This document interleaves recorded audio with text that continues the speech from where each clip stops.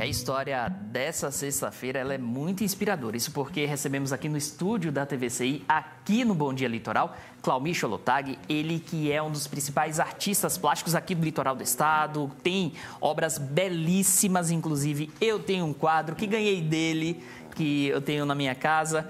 Claudio, eu queria que você começasse se apresentando para o público que não te conhece, mas que muito provavelmente já viu ou alguma obra sua, ou até talvez tenha essa obra em casa, mas não conhece quem é, não sabe quem é Claumir Cholotag. Muito bom dia, seja bem-vindo. Bom dia, obrigado, é uma honra. Me sinto muito honrado em vocês terem me convidado. E essas histórias inspiradoras, ela é bem interessante. Fazer um cronológico, né?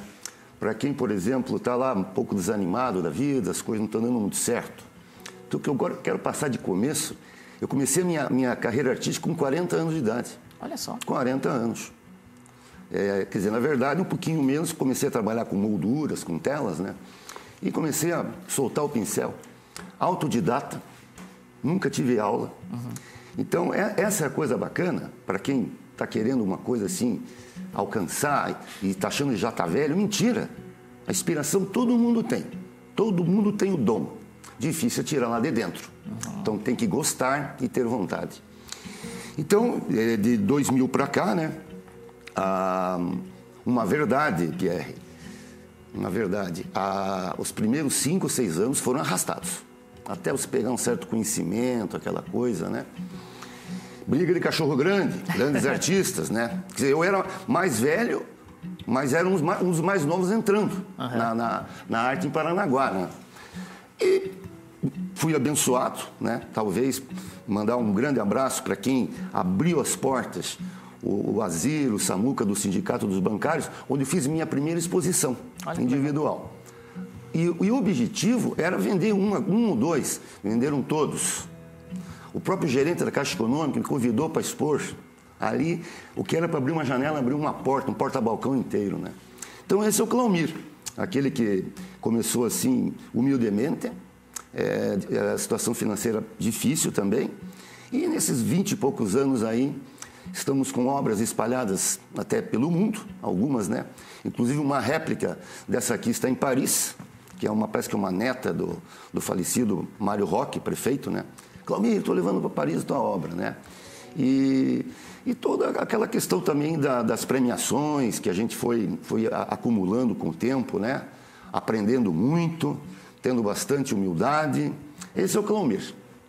Agora, Claumir, você falou que começou até de forma tardia, né? já com aproximadamente 40 anos.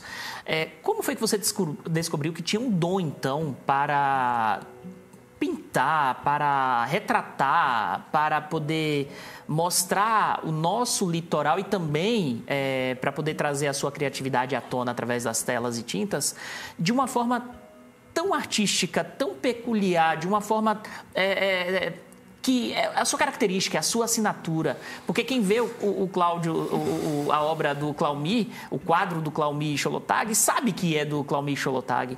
Então, como foi que você descobriu esse dom? Olha, isso aí só em uma outra esfera para responder, eu também não sei. Eu acho que tem que perguntar para o inexplicável Criador. Né? Uhum. É, que, na, nessa questão, estou falando sério. Agora, por exemplo, descendente de italiano. Né? Então, os colonizadores falam que italiano, quando nasce, joga na parede. Se grudar, vai ser cantor ou jogador de futebol. Se cair, é comerciante. Eu caí. Então, eu saí né, nessa mesma brincadeira é, no livro que eu escrevi, que você tem também no meu livro, é uma brincadeira interessante. Eu era professor. Aí eu fiquei burro, virei comerciante, depois fiquei louco e virei artista. Então é uma coisa, a inspiração ela veio da onde? De olhar os outros artistas, gostar. Eu acho que é a única explicação. E é interessante, Claumi, que você retrata muito o litoral paranaense e, de um modo geral, o estado do Paraná. Você acredita que, que é uma forma também de valorizar essa região do estado, essa região do país? Com certeza. Ah, agora há pouco você falou sobre a, minha identidade, né? Uhum. Ah, ela está relacionada ao litoral, a Paranaguá, que, que eu adotei essa cidade, está entendendo? O Paraná em si, porque eu sou paranaense, né? É, então é uma identidade que o artista deve ter. Ele tem que, ele tem que ter assim, quando as pessoas chegam no meu ateliê que eu coloco molduras também, é, eu olho de longe assim, eu já digo de quem que é. Aquilo que você falou da, da peculiaridade, né? Então, é, é aquilo que eu digo, é, eu tenho que retratar onde eu moro, eu tenho que valorizar onde eu moro, né? Para que as pessoas, e olha, eu vou dizer, gostam, procuram, tá entendendo? E essa é a explicação. Valorize onde você mora. Você, por exemplo, você é do Nordeste, né? Sou de Salvador. De Salvador. Aqui em Paranaguá, né? Eu sou curitibano, então de repente Paranaguá está vendo uma esquina do mundo aí, né? Nós se encontrando no Brasil inteiro. Inclusive mandei é, obras para Salvador há uns anos atrás. Que legal. De da, de uma amiga que está morando lá, né? Ligou para mim, mandei pelo correio, né? Enroladinho, a telinha e tal. Isso é uma parte muito boa, né, Pierre?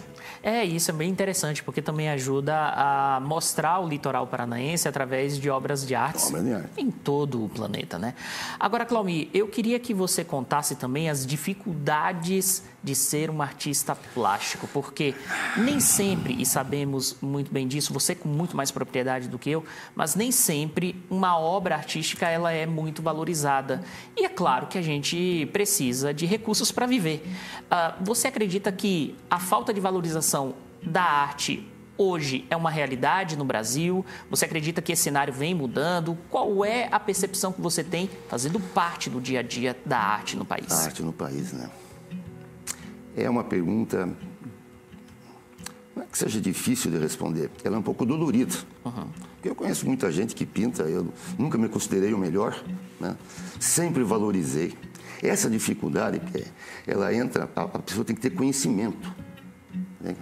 Quem é, por exemplo, grandes eh, artistas de novela no Brasil se tornam eh, artistas plásticos. Por exemplo, falecido Chico Anísio. Pô, cara, né? Ele era pintor. Então ele abria a boca, mostrava um quadro e vendia. Então a assinatura, ela vem junto com o conhecimento. Tá entendendo? Por exemplo, aquela brincadeira que eu fiz. Eu era professor, fui comerciante, né? É, isso ajudou muito. Então as pessoas olham, é, o que, que elas querem? Elas querem é no brilho nos olhos da pessoa, do cliente, digamos assim. Então, eu, eu ensinei para um monte. Diz, olha, gente, se o cara olhar o teu quadro assim, ó, nem peça 50 reais que você não vai vender. Se ele brilhar o olho em cima da tua obra, você fique tranquilo que a coisa vai, vai acontecer. E dentro da dificuldade dos artistas, por exemplo, eu, fui, eu, tive uma, uma, uma, uma, Foi meteórico. Uhum. Eu comecei a ganhar meus prêmios em 2009. E comecei em 2000, mais ou menos. Porque é, em salões de arte não se valorizava a pintura. Se valorizava a arte contemporânea. E eu sofri bastante, viu? Sofri, os mais velhos, né? Arte contemporânea, arte contemporânea, mas a contemporânea, eu sou contemporâneo, você é contemporâneo. Então eu digo, se eu estou pintando uma tela hoje, ela é contemporânea, dava risada. Aí eu cheguei a fazer um negócio, né? vou contar ao vivo uma história inspiradora, e eu só perdia. Em 2009, era a primeira a menção rosa que eu ganhei. Eu peguei três folhas de papel sulfite, peguei um carvãozinho e desenhei três cruzes, que era é, é a arte sacra, né? E coloquei pinguinho com carvão e pinguinho de tintinha vermelha na, na, na cruz do meio. Coloquei um vidro, uma moldura bem simplesinha e entrei no salão. É, qual que é a técnica? Eu falei assim, mídia digital. Estourou. É uma mentira, foi uma mentira? Estourou. Mídia digital, ligavam para mim, jornal, a Folha, a, a, Folha do Litoral, aquilo saiu na capa, Claumir, não sei o quê, bababá. Ali foi o primeiro em 2009. Aí eu descobri, descobri o caminho e comecei a, a, trabalhar com arte contemporânea. Eu nunca ganhei um prêmio com pintura, só com fotografia, arte contemporânea, é, Salão Graciosa, ganhei um salão, é, a, Salão do Litoral, primeiro lugar, recebi uma menção internacional de Alf Werner, nosso querido e falecido Luiz Marcelo, que foi lá no meu ateliê, que disse que me beijou, me abraçou, se você é um gênio. Eu pensei na hora, eu não sou gênio, né? Eu sou apenas um artista que fiz aquilo que fizeram os jurados daquele salão deslumbrar. É uma dificuldade, é uma dificuldade. E olha, você falando isso, eu não conhecia essa história, apesar da gente já ter gravado uhum. em outras oportunidades, e é bem interessante. E olhando essa obra aqui, quando você analisa, você fala, parece uma foto, uhum. parece um registro histórico da cidade de Paranaguá, do litoral do estado. Então, você trazendo agora, eu sabendo, conhecedor dessa sua história, desse, de, de, dessa forma que você encontrou Exatamente. de participar desses prêmios e vendo a obra, você entende todo o contexto todo e faz todo sentido. Faz todo o sentido. É coisa de mente de gênio. Sim, é aquela coisa, né? A, que nem as pessoas falam, né? Aquela questão do artista também, isso é importante de falar para quem está começando, para quem está e não está conseguindo encaixar. É, os dois lados do cérebro. O esquerdo, muito bom para quem tem criatividade e tal, mas tem que usar. Não, o direito para criatividade. O esquerdo, você tem que ser analítico. Uhum. Você tem que ser analítico também. Aí você começa a juntar, aí que as pessoas te chamam de gênio. E como é que consegue unir o analítico com o, com o criativo? Então existe o quê? Ele trabalha em conjunto. Aí as coisas começam a fluir. Né? Flui tudo. O acervo da Folha do Litoral. Olha aí que legal, né? Mais um local que certamente é, conta com obras belíssimas do Claumi Cholotag. Claumi, muitíssimo obrigado por participar do programa de hoje. Foi um prazer gigantesco recebê-lo aqui no estúdio da TVCI e até uma próxima oportunidade. Foi uma honra, muito obrigado. Um abraço a todos.